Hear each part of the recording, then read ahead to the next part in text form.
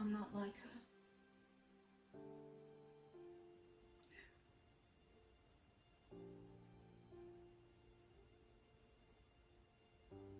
I'm better.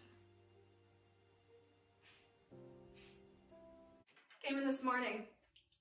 Luke set it up for me. I mean, he's really shot up, hasn't he? Well, I guess it, the most important thing for you guys to remember during the next few weeks. That skank! There's a million people out in the waiting room, and they're like me, but they're prettier and they're better at because maybe I'm not good enough. Yes, you are. Maybe I'm not. Yes, you are.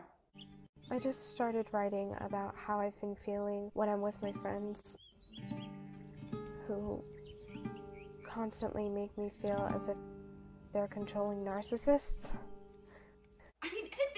Since I LOL'd IRL. I mean, I even found an old book in the trunk and started reading it. I didn't need a phone anymore. I just needed a quiet place to figure out how they killed that mockingbird. I can't speak. An eternity of colors glorifying the leftover pieces of emotion. Despite the fact that the leftover pieces of emotions dishonors the eternity of colors. Jack?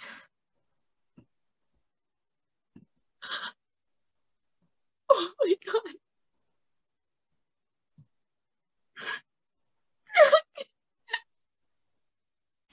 No, I don't send them. I just get them.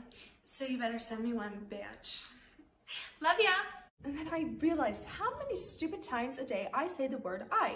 I mean, all I ever do is think about myself. And how lame is that when there's like 7 billion other people out there and, oh, uh, I'm talking too fast. I can't read your handwriting in some of these. because I didn't know what my future held. This one, right there. Yeah, that one's boring. Yeah, that one's the that, boring one's, one. that one's the bad one. Now, you know, I love to show the kids the world and experience things with them for the first time, especially through the rough times.